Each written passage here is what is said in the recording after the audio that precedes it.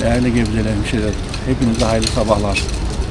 Şu anda bulunduğumuz mekan bizim Gebze'de birinci sınıf atık getirme merkezinin temelini attık. Kurbanı kesildi. İnşallah kısa sürede de tamamlayarak hizmet alacağız. Atık getirme merkezinin temeli dualarla atıldı. Sıfır atık çalışmalarıyla sıfır atıkla engelleri aşıyoruz çevre ödülünü alan Gebze Belediye Başkanı Zinur Büyükgöz, birinci sınıf atık getirme merkezinin temelini attı.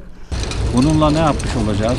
Biz Gebze Belediyesi olarak sıfır atık konusunda iddialı olduğumuzu her zaman söylüyoruz. Bunun gereği olarak da tüm altyapı çalışmalarını, ayrıştırma merkezlerini, kırma merkezlerini, öğütme tesislerini, kompost gübre üretim tesislerini hayata geçirdik. Şimdi de birinci sınıf e, geri atık getirme merkezimizi e, hayata geçireceğiz. Böylelikle de e, almış olduğumuz sıfır atık belgesini inşallah gümüş atık belgesi haline getirip yeni belgemizi alacağız. Böylelikle ülkede ilk gümüş atık, sıfır atık belgesi olan belediye olma özelliğimizi kazanmış olacağız. Kiraszpınar Mahallesi'nde hizmete girecek Gebze Belediyesi birinci sınıf atık getirme merkezi 6600 metrekare alan üzerinde yükselecek. Çevreye duyarlı Gebzelilerin katkıları ve katılımlarıyla kaynağından ayrıştırılan ambalaj, ilaç, yağ ve benzeri atık bölümlerinin yer alacağı Gebze Belediyesi birinci sınıf atık getirme merkezinde kompost gübre üretim alanı, eğitim alanları, simülasyon odaları ve sosyal donatı alanları yer alacak.